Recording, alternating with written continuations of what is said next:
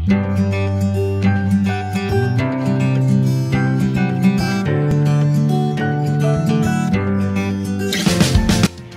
Hitler was an Austrian boy German politician who was the dictator of Germany from 1933 until his death in 1945. He was born on April 20, 1889. He rose to power as the leader of Nazi Party, becoming the Chancellor in 1933. Nelson Mandela was a South African anti-apartheid revolutionary, political leader and philanthropist who served as the first president of South Africa from 1994 to 1999. He was the country's first black head of state and the first elected in a fully representative democratic election. Mandela or Nelson Mandela, hearing the elder stories of his ancestors who followed during the War of Resistance, he dreamed also of his own contribution to the freedom struggle of his people.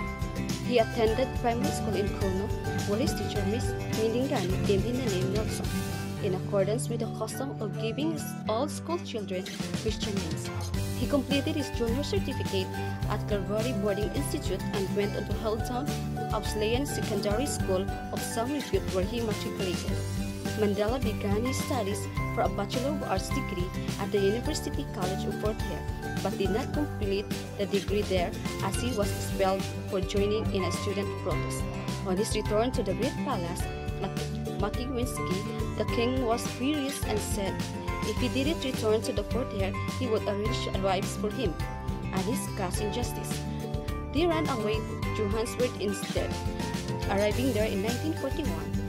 There he worked as a mine security officer and after meeting Walter Sisulu, an estate agent, he was introduced to Lazar Sidelsky. He then did his articles through a firm of attorneys Witkin, Eidelman, and Sidelsky.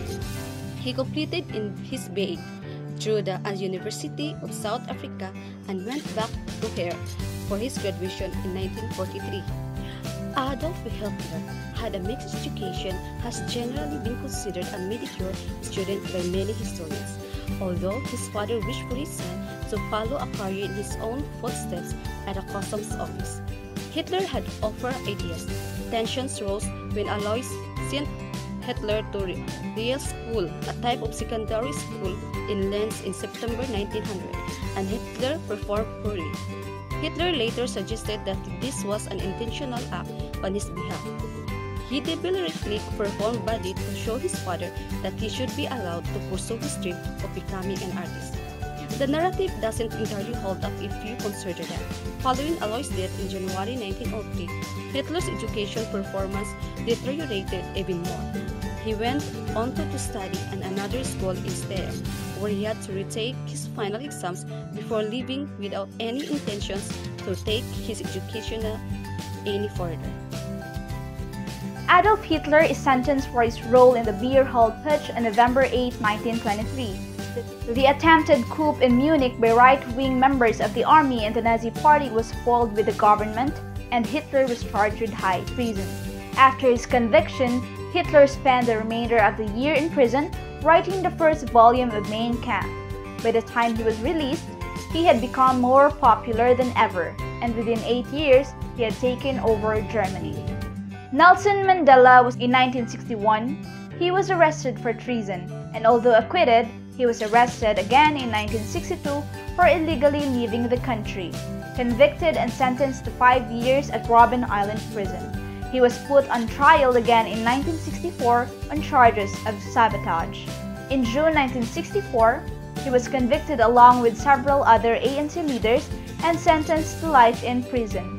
Mandela spent the first 18 of his 27 years in jail at the brutal Robben Island prison. In 1989, Frederick Willem de Klerk became South African president and set about dismantling apartheid. De Klerk lifted the ban on the ANC, suspended executions, and in February 1990, ordered the release of Nelson Mandela. Nelson Mandela showed heroism through his selfless and dedicated acts by fighting to bring liberty and justice for his people and risking his life for the equality of all.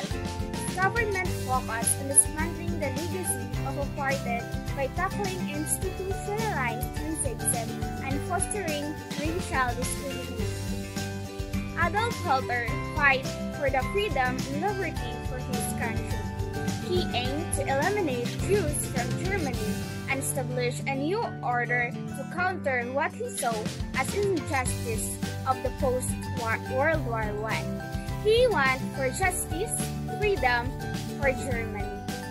In general, Nelson Mandela and Adolf Hitler both showed heroism to their country and for their people. Mandela's political goal was to win freedom for his nation, preserving the authenticity and uniqueness of its culture. His political journey began with the participation in an activist movement of radical character through which he became associated with the African National Congress in 1943.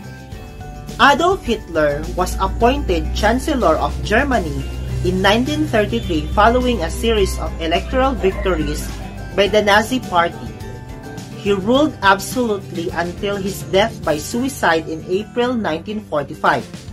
Upon achieving power, Hitler smashed the nation's democratic institutions and transformed Germany into a war state intent on conquering Europe for the benefit of the so-called Aryan race. Um, Adolf Hitler and Nelson Mandela have different ways of leadership.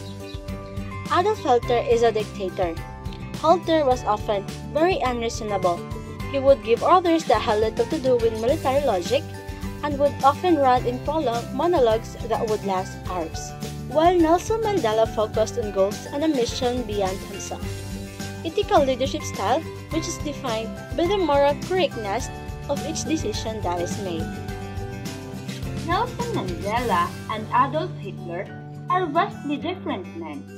However, in many ways throughout their lives, they both held a huge influence over their countrymen. The politics of their country are inevitably they both shaped the course of history for better or worse. Their fight was not won without a struggle, but was helped by their masterful oratorical skills and the willingness of their followers to do anything for the cause. That's all.